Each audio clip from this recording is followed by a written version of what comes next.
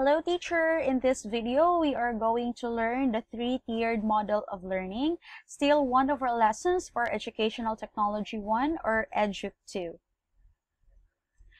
So Jerome Bruner is the proponent for the three-tiered model of learning and Jerome Bruner is a Harvard psychologist. And what is this three-tiered model of learning all about? This model points out that every area of knowledge can be presented and learned in three distinct steps. Okay, so um, still the sim the illustration is very much similar to the cone of experience, and you know it's yeah it's still a cone, but the only difference is that in the cone of experience, there are 10 levels, whereas in the three-tiered model, there are only three, okay, three levels. So it involves inactive, inactive on the bottom part, on the middle part is the iconic, and then the topmost part is the symbolic, okay? So inactive, well, the learners are engaged in the real thing. They are exposed in the real thing. Iconic, it involves pictures, films, sculptures, and in the symbolic, language and math. Like, you know, the in the verbal symbols for the cone of experience. Okay, so there are three learning modes. Uh, we also call them the three learning modes, inactive, iconic, symbolic. So inactive learning through movement or action. So the students or the kid is provided with what? Pop-up books, books, uh, things, instructional materials that can be manipulated by the kid. Okay, next is the iconic. After giving them or allowing the kid to play with a book, we give them a book where our pictures are included, picture books, so they can learn through images or icons. That is why it's called the iconic level. So what's the difference now? They still are holding books, but in inactive level, they can play with it, they can touch their sense of touch since it is pop up.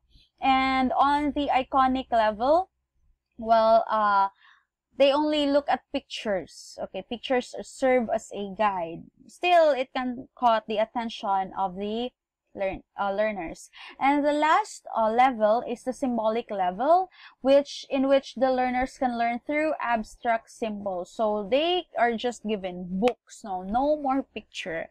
Like they can read for research so they are given journals uh, links that they can search up online like that. So again the three learning modes the inactive iconic and symbolic. So uh an approach for learning is um, being integrated into this three-tiered model of learning. We call this as the CPA approach. C stands for the concrete. You know, they can manipulate these blocks, right? P stands for the pictorial. So pictures, graphs, maps, like that.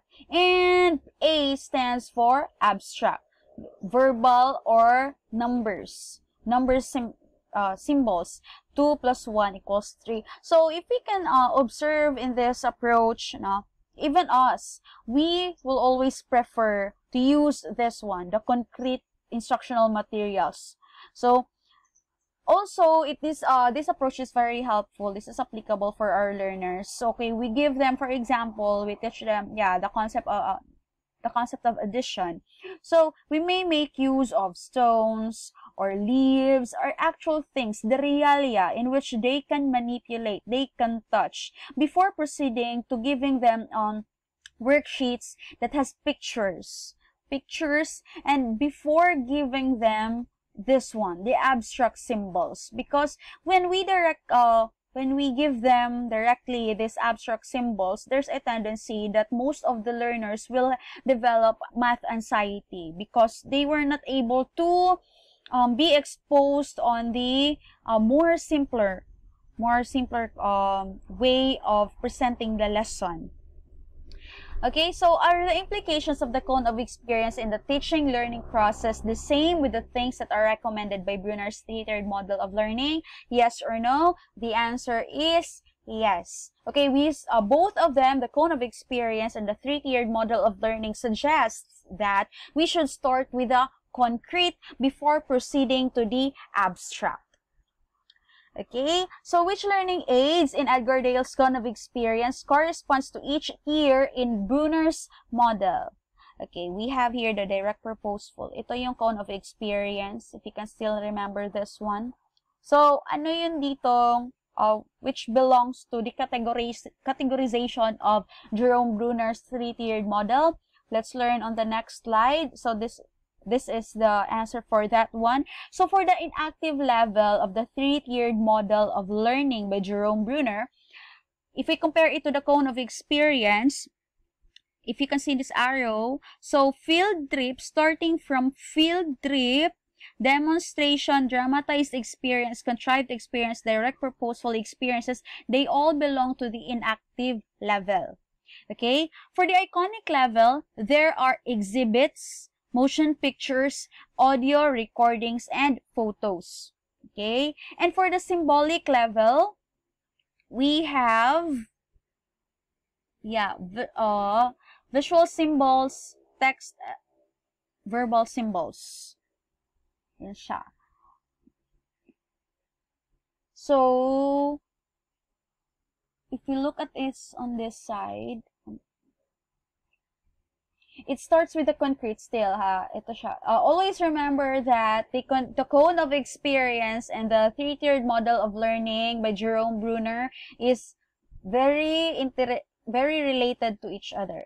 Okay, it's just that in the cone of experience, there are many levels, 10, and on the three-tier, there are 3, but again, kinategorize lang ni Jerome Bruner yung nasa cone of experience. Both of them suggest that we should start with the concrete before proceeding to the abstract so that the learners will understand the concepts better.